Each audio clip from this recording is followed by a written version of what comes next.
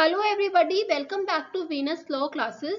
So guys, criminal law important judgment की series में कल हमने अपना फ़र्स्ट केस डिस्कस किया था that is Gurbaksh Singh Sibbia case which is on section number 438 CRPC that talks about anticipatory bail. आज हम इसी डिस्कशन को आगे बढ़ाएँगे और एक रीसेंट केस डिस्कस करेंगे in details that is Sushila Agarwal versus state NCT of Delhi it is also a five जजेस बेंच डिसीज़न ये भी आपका फाइव जजेस बेंच डिसीज़न है। और ये why this case is important because हमारी एक कॉन्ट्रोवर्सी चल रही थी विद रिस्पेक्ट टू 438 जो इस केस ने सेटल कर दी है बाय फाइव जजेस बेंच सो गाइस स्टार्ट करते हैं वीडियो को। पहले हम you can take down the citation from here and the judgment it was delivered by honourable justice M R Shah so so, पहले हम बेरेक्ट की रीडिंग ले, ले लेंगे। So whatever provision are important पहले हम उनको समझ लेंगे। We will be proceeding with the case पहले हम इशू को रेज करेंगे and ultimately will be diving into the ratio of this particular case फिर हम रेशियो देखेंगे कि केस क्या हेड करता है। सो so, अगर मैं आपसे एक पहला क्वेश्चन रेज करूँ आपके सामने कि अगर पहले मैंने आपको बोला था कि आपको 438 पढ़ना है अगर आपने पढ़ा हो तो क्या एंटीसिपेटरी बेल इस टर्मिनोलॉजी का यूज़ कर रखा है सीआरपीसी कोर्ट ने under section 438 so answer is no the word anticipatory bail it is not used under section 438 CrPC फिर हमें ये वर्ड कहाँ से मिलता है? बिकॉज़ कॉमन पार्लेंस में तो हम यही यूज़ कर रहे हैं। सो so, अगर आप forty first law commission report को पढ़ोगे, जिसका रिकमेंडेशन पर ये सेक्शन नंबर 438 इंक्लूड किया गया 1973 के कोड में कि जो भी आर्बिटरी अरेस्ट होते हैं सो so दैट हम उन्हें अवॉइड कर सके। तो लॉ कमीशन ने रिकमेंड किया कि एंटिसिपेटरी बेल का प्रोविज़न होना चाहिए। तो वहाँ पर अपनी रिपोर्ट में इन्होंने इस टर्मिनोलॉजी को यूज़ किया। सेकेंड क्वेश्चन यही बनता है जिसकी हमने बात की कि किस लॉ कमीशन रिपोर्ट के चलते हम इस प्रोविज़न को लेकर आए। So forty first is the answer इसको पढ़ते हैं where any person has reason to believe that he may be arrested अभी अरेस्ट हुआ नहीं है बट अगर आपको ऐसा लगता है रीजनेबल बिलीव है कि आप अरेस्ट हो सकते हो किस एक्यूजेशन पे ऑफेंस का नेचर कैसा होना चाहिए? Nail non bailable offence so non bailable offence क्यों? क्योंकि अगर ये वेलेबल ऑफेंस होगा फिर तो पुलिस ऑफिसर भी बेल ग्रांट कर सकते हैं. So that is why non bailable offences के केस में ही एप्लीकेंट आप एंटीसिपेटरी बेल की एप्लीकेशन को मूव करते हैं. फिर हम आते हैं अपने फोर्थ uh, क्वेश्चन पे. कि किस कोर्ट के पास पावर है कि वो एंटीसिपेटरी बेल एप्लीकेशन को अलाउ या रिजेक्ट कर सके एंटरटेन कर सके?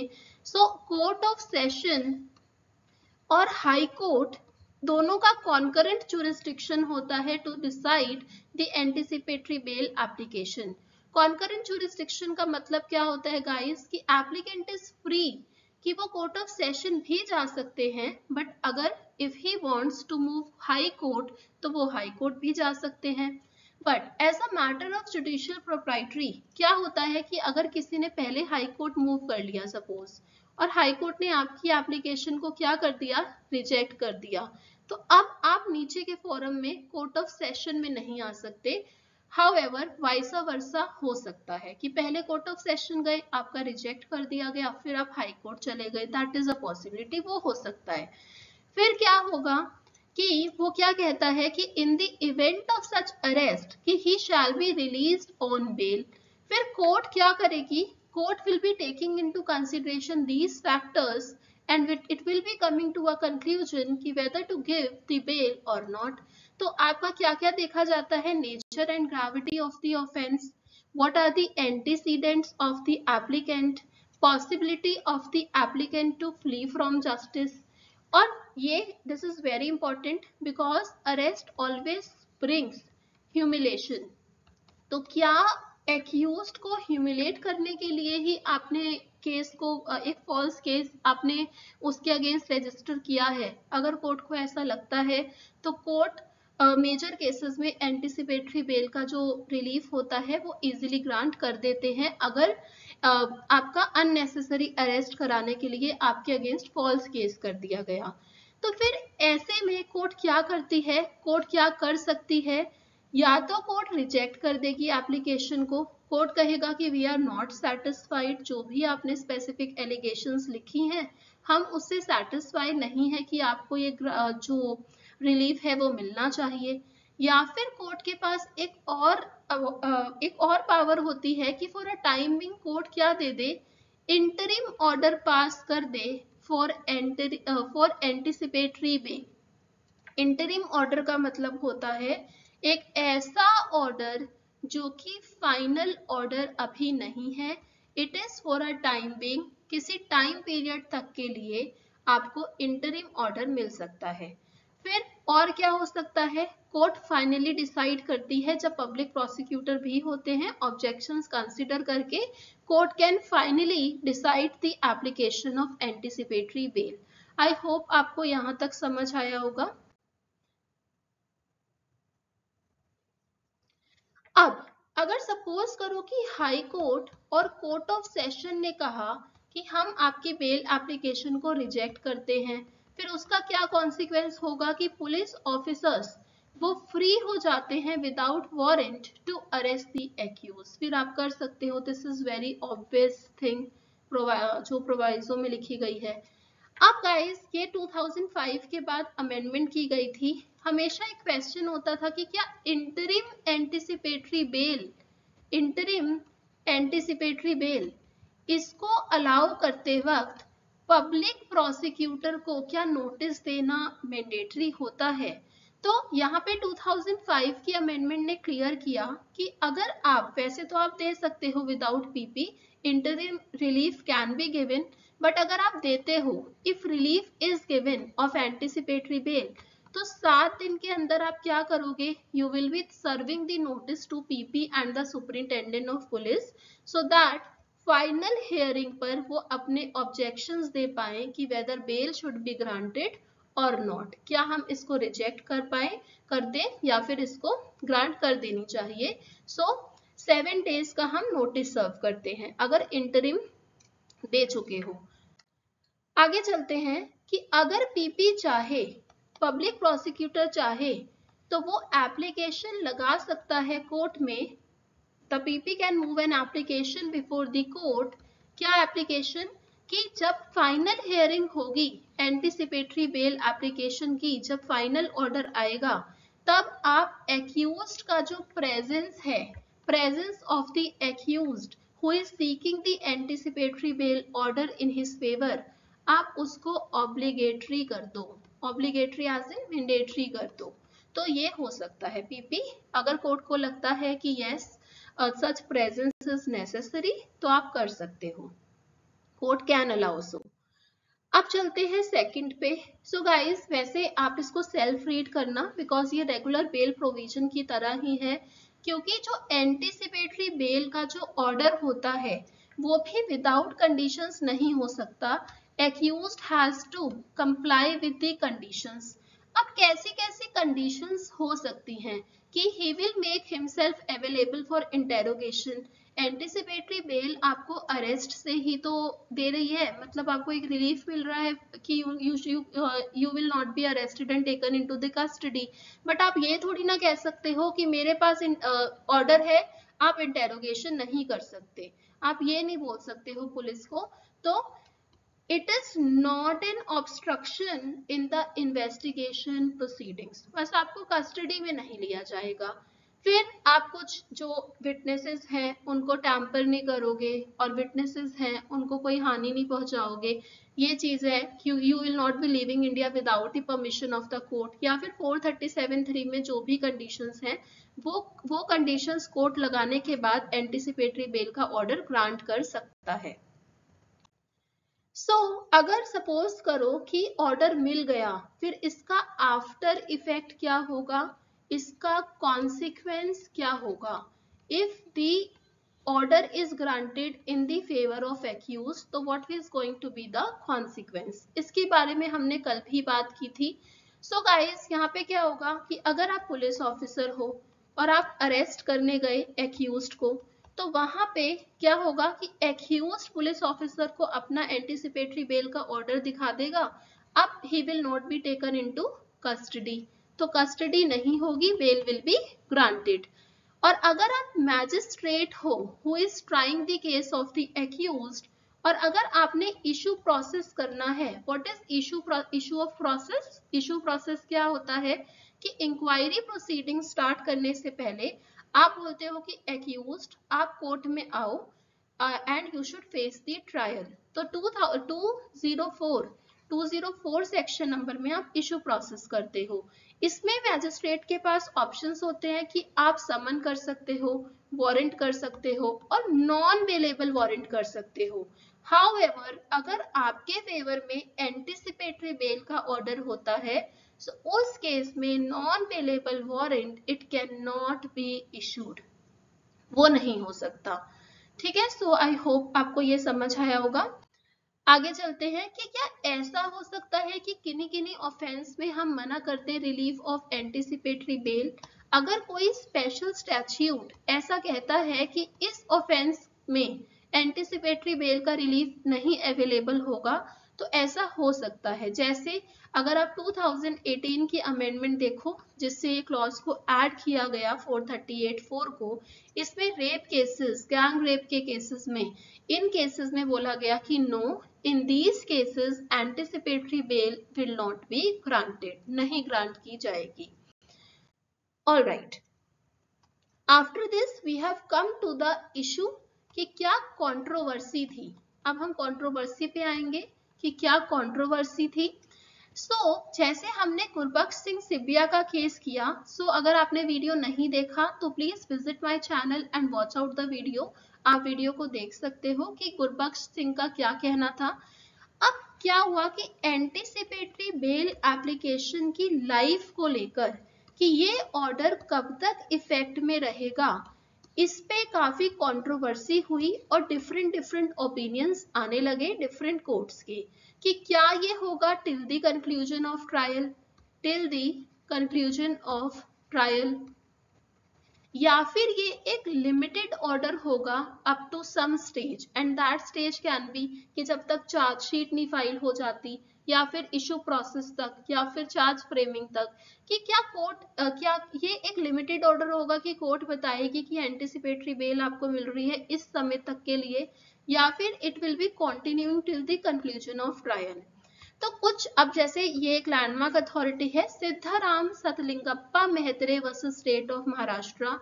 इसमें कहा गया कि एंटिसिपेटरी बेल ये जो ऑर्डर होता है it is having an effect till the conclusion of trial आप इसको लिमिट नहीं कर सकते हो। Courts are not having the power to limit it लेकिन अगर हम सलाउद्दीन अब्दुल समाज शेख इस केस को पढ़ें तो यहाँ पे कहा गया कि ये एक लिमिटेड ऑर्डर होता है। It can not continue till the conclusion of trial तो इससे, इसलिए क्या हुआ? ये कंट्रोवर्सी अरोज हो गई with respect to the life of the order so guys ये कुछ इश्यूज़ थे। दो इश्यूज़ फ्रेम किए गए और लार्जर बेंच को रेफर कर दिए गए कि आप इन इश्यूज़ को कंसिडर करो। एक बार पढ़ते हैं इश्यूज़ को। Whether the protection granted to a person under 438 CRPC should be limited to a fixed period. क्या ये एक फिक्स्ड पीरियड तक हो? और जैसे ही वो फिक्स पीरियड आएगा सपोज़ हमने कहा कि चार्जशीट पे इट विल एंड तो ये एक्सपायर हो जाएगा। और उसके बाद एक्यूज क्या करे? रेगुलर बेल रेगुलर बेल जो कि after taking into the custody होती है, उसको अप्लाई करे। Whether the life of anticipatory bail it should end should end at the time and stage when the accused is summoned by the court यानी कि to zero four क्या ये तब तक खत्म हो जाए या इट विल कंटिन्यू तो ये हमारे दो इश्यूज़ हैं। So let's see what was the answer given by the court कि इश्यूज़ का आंसर क्या दिया गया। So regarding question number one the court held कि ये जो प्रोटेक्शन है 438 सीआरपीसी का it should not always or ordinarily be limited to a fixed time.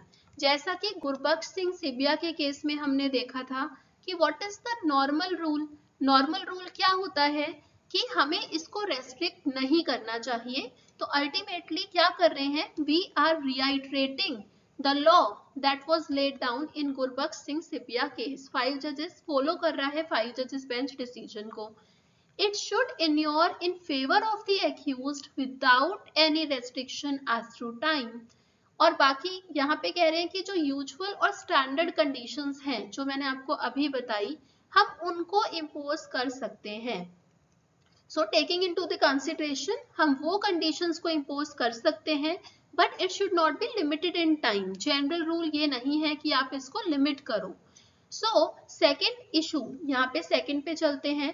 तो कोर्ट ने कहा कि life of an anticipatory order it does not end generally at the time and stage when the accused is summon by the court under section 204 और after framing of charges तो ना ही issue process पे, ना ही framing of charges पे ये खत्म नहीं होता order it still continue till the end of the trial how अगर कोर्ट को लगता है कि देर आर सर्टेन पेक्युलर और स्पेशल सर्कमस्टांसेस तो वहाँ पे कोर्ट क्या कर सकता है court can limit court is having the discretion to limit the tenure of anticipatory bail it is open for the court to do that however that is not the general rule because we are following gurbakh singh sibia case here so i hope आपको answer समझ आया अगर मैं आपसे after effect देखूँ तो जैसे कि अगर आप ये सिद्धाराम वाले जजमेंट को देखो, मेहत्रे वाले जजमेंट को वर्सेस स्टेट ऑफ़ महाराष्ट्र, उन्होंने कहा लिमिट हो ही नहीं सकती। तो जब उन्होंने कहा कि लिमिट हम लगा ही नहीं सकते तो उन्होंने मिसरीड किया लॉ को, जो गुरबख्श सिंह सिपिया केस में कहा गया। और फिर ये जो आपका दूसरा अब्दुल वाला केस था, ये और ज़्यादा बिल्कुल एक्सट्रीम जा रहा था कि आप आप इसको till the conclusion of trial कर ही नहीं सकते। It always has to be limited तो इसलिए इन दोनों जजमेंट्स को क्या किया गया? तो जज कोर्ट ने कहा कि आप इसको, ये हारमोनियसली पढ़ना पड़ेगा। आपको with respect to Gurbaksh Singh Sibbia case and these judgments were overruled so I hope इतना इशू क्लियर है। अब आगे की स्लाइड में हमने थोड़ा सा रिआइट्रेट जो लॉ को किया गया गुरबख्श सिंह सिबिया को इसको ऐड कर रखा है। क्योंकि हम वीडियो बना चुके हैं तो विल क्विकली बहुत क्विकली चलेंगे और समझेंगे एक एक पॉइंट को कि क्या हेड uh, किया गया। तो पहला मैंने आपको बताया था कि जो एप्लीकेशन होती है एंटीसिपेटरी बेल की ये काफ़ी कॉन्क्रीट होनी चाहिए विद रिस्पेक्ट टू फैक्ट्स एक स्पेसिफिक एलिगेशंस होनी चाहिए कि ये पर्टिकुलर ऑफेंस को मैं अप्रीहेंड कर रहा हूँ कि मैं इसलिए अरेस्ट हो सकता हूँ।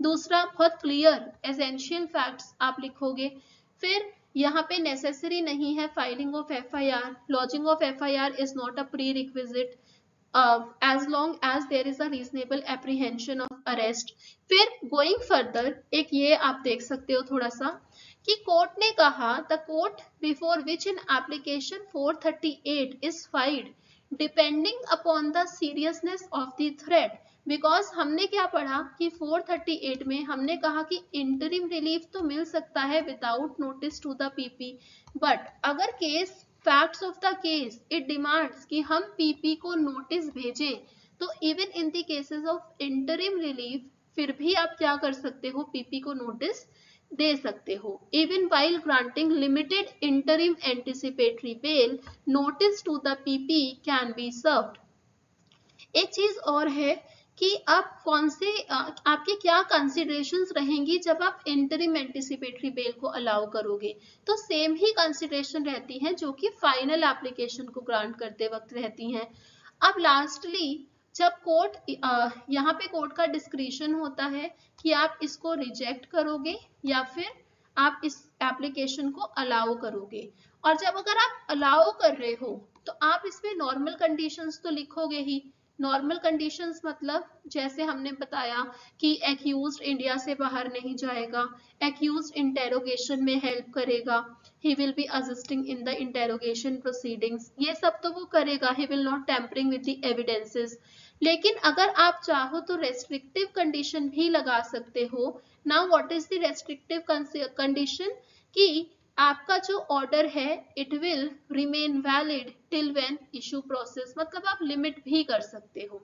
अगेन द सेम पॉइंट फिर लास्ट में आपको मैंने कल भी बताया था कि court cannot pass blanket orders कि अब फ्यूचर में आप कोई भी ऑफेंस करने वाले हो तो ये ऐसा प्रोटेक्शन नहीं है कि it will be acting as a protecting cover कि अब आप जो मर्ज़ी ऑफेंस करो it should specifically relate to the fact stated in the application by the person moving the bail application फिर यहाँ पे lastly uh, orders of anticipatory bail do not in any manner limit or restrict the rights and duties of the police officers to to do the investigation तो again अगर section 27 Indian evidence act इसमें अगर discovery करानी है तो you can apply the concept of deemed custody आप वो apply कर सकते हो।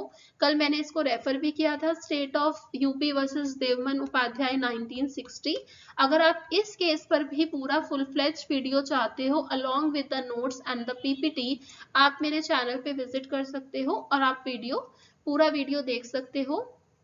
Also, thank you so much. I hope you have understood the concept and the issue that was arose in this particular case and the ratio of the honorable court.